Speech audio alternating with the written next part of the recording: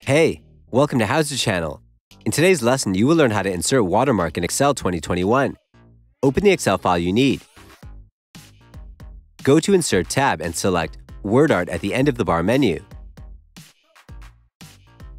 Choose the style you like. Enter your watermark text. Select it to adjust the size. Right-click on it and choose Format Text Effects. Click on the bold A icon. Select Text to Fill. Check Solid Fill. Set transparency to 100%.